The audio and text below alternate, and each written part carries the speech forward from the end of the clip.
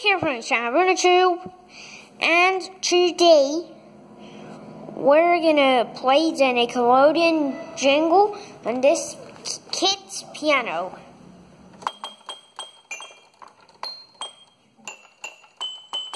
That's it, so bye!